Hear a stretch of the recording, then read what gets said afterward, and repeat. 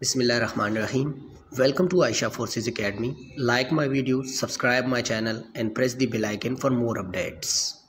असलकुम स्टूडेंट्स उम्मीद करता हूँ आप तमाम लोग खैर खैरियत से होंगे और बहुत अच्छी ज़िंदगी गुजार रहे होंगे स्टूडेंट्स आप लोगों को याद होगा हमारी पाक नेवी सेलर अल्फ़ा 2025 की प्रिपरेशन चल रही थी जिसके अंदर हमने काफ़ी वीडियोस अपलोड कर दी हैं और आज भी हम इसी पर एकेडमी की वीडियो बनाएँगे इन तो स्टार्ट करते हैं अच्छा वीडियो को एंड तक लाजमी देखें ताकि आपकी एकेडमी की सारी कन्फ्यूजन्स क्लियर हो सकें और आपका माइंड क्लियर हो सके ताकि आप कोई भी मिस्टेक करने के काबिल ना रहें। तो स्टार्ट करते हैं।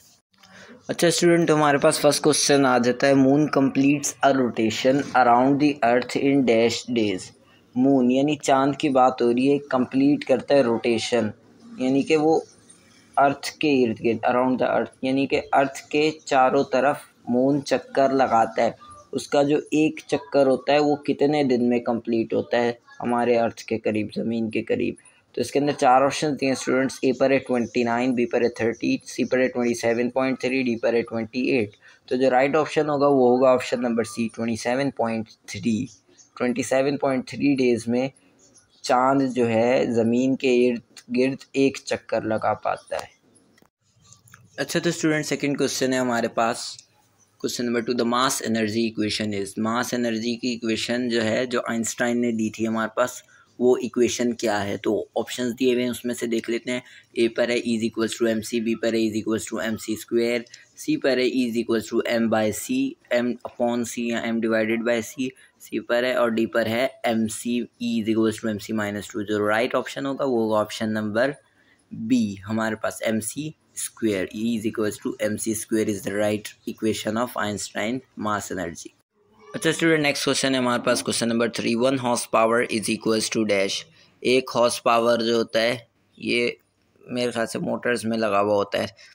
तो जो है, ये हॉर्स पावर कितने जो है कितने उसका होता है वॉट का होता है। तो इसके अंदर चार ऑप्शन दिए हैं ए पर है seven forty six watt B पर है seven fifty six watt C पर है seven thirty four watt D पर है सेवन ट्वेंटी नाइन वॉट तो राइट ऑप्शन है, वो है option number A seven forty six watt एक horse power seven forty six watt का होता है।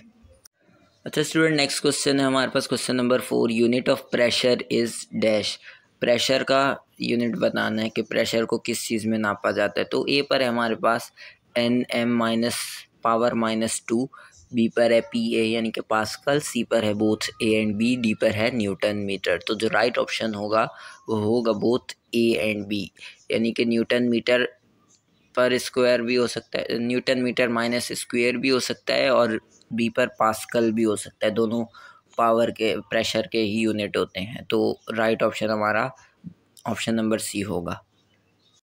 अच्छा स्टूडेंट नेक्स्ट क्वेश्चन है हमारे पास question number five SI unit of frequency SI unit यानी कि सिस्टम इंटरनेशनल में फ्रीक्वेंसी का जो यूनिट होता है फिज़िक्स में, वो क्या होता है? फ्रीक्वेंसी क्या होती है?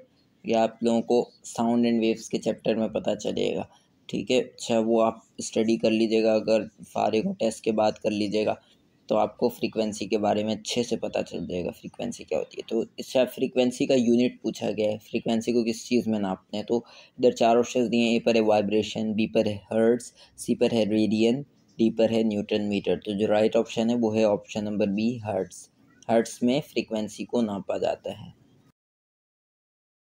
अच्छा स्टूडेंट नेक्स्ट क्वेश्चन आ जाता है हमारे पास। Question number six resistance is measured in dash resistance को किस तरीके से नापा जाता है, यानी कि बेसिकली यूनिटी पूछा जा रहा है यहाँ पर भी रेजिस्टेंस का यूनिट क्या होता है? तो चार ऑप्शंस दिए हैं, ए पर है ओम पी पर है एम्पियर सी पर है इलेक्ट्रिक चार्ज डी पर है नन ऑफ़ दीज तो हमारा जो राइट ऑप्शन होगा, वो होगा ओम रेजिस्टेंस को ओम में नापा जाता है ओम अच्छा बी पे एम्पेयर जो है, वो तो हो नहीं सकता क्योंकि वो करंट का जो है यूनिट होता है एम्पेयर ठीक है? तो राइट ऑप्शन हमारा होगा ओम अच्छा स्टूडेंट नेक्स्ट क्वेश्चन आ जाता है हमारे पास। अच्छा अब हम कुछ इंग्लिश के सवाल याद कर लेते हैं। बहुत पढ़ ली physics he walks slowly which is adverb अच्छा ही वॉक स्लोली एक टेंस दिया हुआ है इन लोगों ने और पूछा हुआ है, इसके अंदर एडवर्ब क्या है? अच्छा एडवर्ब होता क्या है? एडवर्ब वो चीज़, पहले वर्ब समझते हैं, फिर एडवर्ब समझते हैं। वर्ब वो होती है जो एक्शन को रिप्रेजेंट कर रही होती है। अब जैसे यहाँ पर एक एक्शन हो रहा है वॉक वॉक हो रही है, यानी कि चल रहे हैं। तो वॉक एक सॉरी स्टूडेंट्स तो वॉक एक क्या होती है?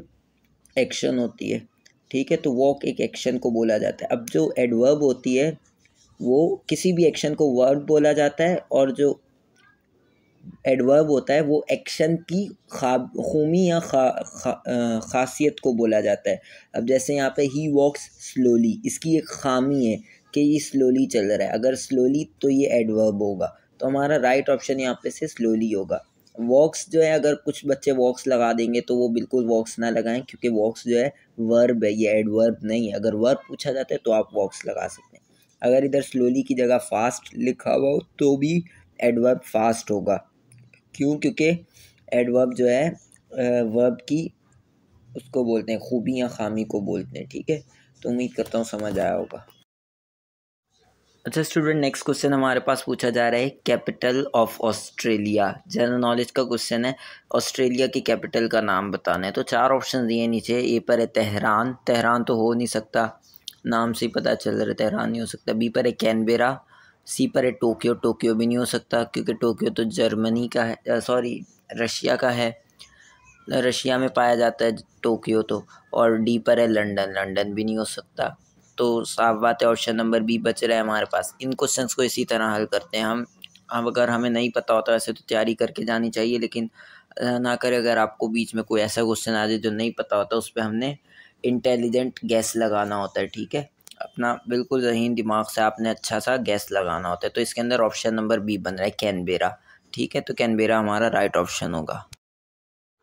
अच्छा स्टूडेंट नेक्स्ट क्वेश्चन देख लेते हैं। जीके का है जनरल नॉलेज का है। ये question question number nine where is the head quarter of Pakistan navy Pakistan navy का हेड क्वार्टर कहाँ पर है? कौन से सिटी में है? तो चार ऑप्शन दिए नीचे। ए पर है कराची बी पर इस्लामाबाद सी पर है गवादर डी पर है पेशावर। तो हमारे पास जो राइट ऑप्शन होगा, वो होगा option number B Islamabad. Islamabad में पाकिस्तान नेवी का हेड क्वार्टर वाक़ है। तो बी ऑप्शन राइट है। अच्छा स्टूडेंट नेक्स्ट क्वेश्चन है question number ten which is called the Switzerland of Pakistan कौन सी ऐसी जगह है पाकिस्तान में जिसको पाकिस्तान का स्विट्ज़रलैंड कहा जाता है? तो चार ऑप्शन दिए हैं, पर है सवात वैली बी पर है इस्लामाबाद सी पर है पेशावर तो स्टूडेंट्स इनमें से जो राइट ऑप्शन है, वो है option number A Swat valley Swat valley ऐसी है जो कि पाकिस्तान को, जिसको पाकिस्तान का स्विट्ज़रलैंड कहा जाता है। अच्छा स्टूडेंट नेक्स्ट क्वेश्चन है, हमारे पास क्वेश्चन नंबर इलेवन जो कि लास्ट क्वेश्चन होने वाला है इस वीडियो का। अच्छा स्टूडेंट आप लोगों ने टेंशन बिल्कुल भी नहीं लेनी। मुझे पता है अकेडमिक की वीडियोस कम आ रही है, थोड़ा सा मैं बिज़ी था इस वजह से। तो मैं जो है ना, आज ही, इंशाल्लाह आज ही एक वीडियो और शाम तक अपलोड कर दूँगा। छः छः, सात बजे तक एक और वीडियो आ जाएगी अकेडमिक की तो टेंशन बिल्कुल नहीं लेनी। तो इलेवन क्वेश्चन है area of Sindh area of Sindh में ए पार्ट है one four zero nine one four square kilometre B है seven four five two one square kilometre C A three four seven one nine zero square kilometre D A two zero five three four five square kilometre इनमें से जो right option है, वो है option number A A option हमारा right option है, जो कि है one four zero nine one four square kilometre friends अगर आपको वीडियो पसंद आई हो तो आप लाइक करें सब्सक्राइब करें और शेयर भी करें।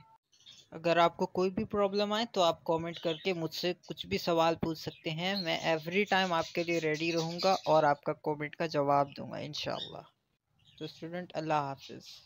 अपना ख्याल रखिएगा।